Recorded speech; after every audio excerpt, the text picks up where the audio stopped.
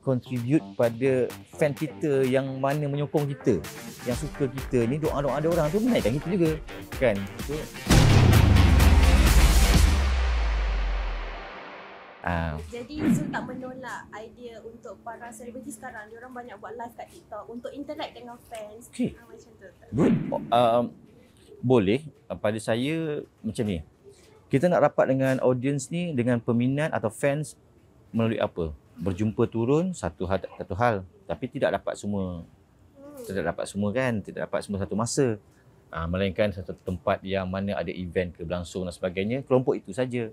Jadi bila kita buka kita punya live TikTok ke Instagram ke apa, follow-follow kita akan dapat tahu, dapat oh, rasa macam weh aku dihargai kadang-kadang. Ya, betul. Ah, semua saya tidaklah sekerap. Tak kerap hari-hari tidak. Mungkin sebulan sekali. Bila saya rasa macam okeylah aku nak buat live lah nak bagi giveaway. Oh, okey masa tu kita ah, buat live, siapa yang masuk tu dapatlah hadiah-hadiah sikit kan. Orang kata kita yalah contribute, contribute pada apa?